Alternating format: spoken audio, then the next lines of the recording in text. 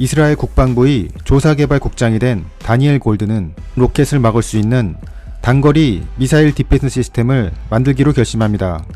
골드는 정식 결재 라인을 거치면 시간도 오래 걸리고 반대론자들이 방해가 있을 것을 예상하여 직접 이스라엘의 방산업체인 라파엘의 최고 책임자에게 전화를 걸어 개발을 먼저 시작하자고 제안합니다. 1년 5개월 후 기본적인 개념 연구를 마치고 총리와 군 전문가들 앞에서 발표를 했지만 반응은 좋지 않았습니다. 비용이 너무 비싸고 개발 기간이 오래 걸린다는 이유였습니다. 이스라엘은 미국으로부터 개발비를 지원받기 위해 사절단을 보냅니다. 하지만 미국의 반응은 냉담했습니다.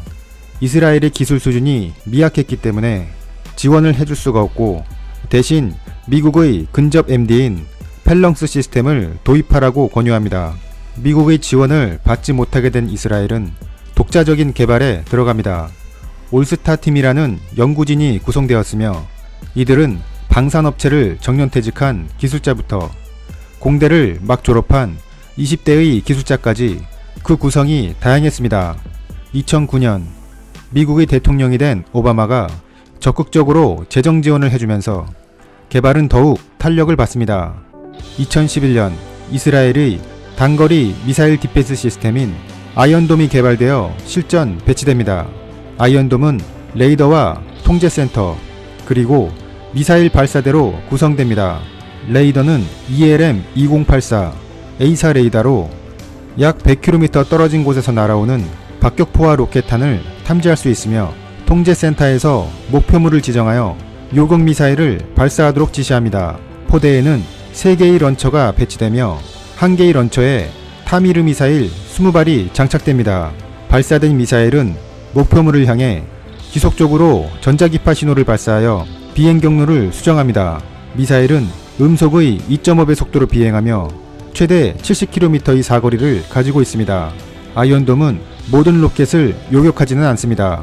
통제센터에서는 목표물의 예상 탄착 지점을 계산하여 인구 밀도가 적거나 개발지에 대해서는 아예 요격 대상에서 제외하고 중요 시설이나 인구 밀집 지역으로 날아오는 목표물에 대해서만 요격 미사일을 발사합니다. 2012년 발사된 로켓 737발 중 273발에 대해 격추를 시도하였으며 그중 245발을 요격했습니다.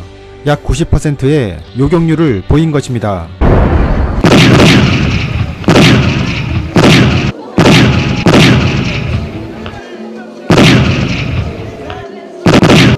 이후 계속된 로켓 공격에 대해 아이언돔은 높은 성공률을 보여왔습니다.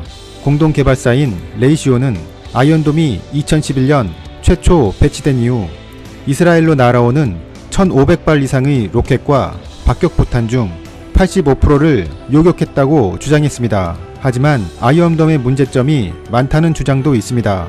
우선 이러한 요격률이 과장된 수치라는 의견도 있고 무엇보다 운영비용이 너무 비싸다는 것입니다. 아이언돔은 1조 원이 넘는 개발비가 투입되었다고 하며 이후에도 미국으로부터 지속적인 투자를 받아왔습니다. 한 개 포대의 가격은 약 560억 원이고 미사일 한 발당 가격이 6천만 원 정도라고 합니다. 이렇게 아이언돔을 가격으로만 비교한다면 아이언돔의 가격과 운용 비용이 너무 많다는 것으로 생각될 수 있습니다. 하지만 요격 미사일의 가치는 그 보호 대상의 가치로 비교되어야 한다는 의견도 있습니다. 즉, 아이언돔의 보호 대상은 이스라엘의 시민이기 때문에 그들을 보호하기 위해 지불되는 비용을 쉽게 비싸다고 할 수는 없다는 것입니다. 아이언돔이 배치되기 이전에는 로켓이 날아온다는 비상 사이렌이 울리면 이스라엘 사람들은 하던 일을 멈추고 즉시 대피소로 달려가야만 했습니다. 그 지역의 경제활동이 상당 시간 마비되었던 것입니다. 하지만 지금은 사이렌이 울려도 급하게 뛰는 사람이 많이 줄어들었고 심지어 미사일의 요격 장면을 구경하기 위해 밖으로 나오는 사람들까지 있을 정도입니다.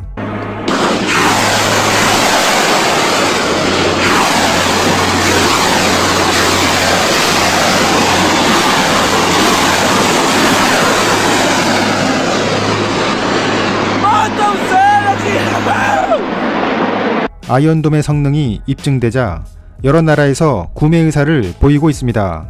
아제르바이잔, 루마니아, 체코 등이 구입하기로 했으며 미국도 일부 도입 결정을 내렸습니다. 이러한 아이언돔을 대한민국도 도입 검토를 한 적이 있으나 결국 취소되었습니다. 아이언돔이 비정규전 부대의 산발적인 공격을 방어하기에는 적당한 무기이지만 북한처럼 대규모 장사정포 공격에는 적합하지 않다는 이유였습니다. 대신 합참은 국방과학연구소에서 북한의 장사정 포탄을 직접 요격하는 한국형 요격 체계를 개발하고 있다고 밝혔습니다. 이스라엘은 아이언돔의 비싼 운용 비용을 보완하기 위해 새로운 요격 체계인 아이언빔을 개발했습니다. 이 시스템은 기존의 미사일 대신 목표물의 고출력 레이저를 조사하여 파괴하는 것입니다.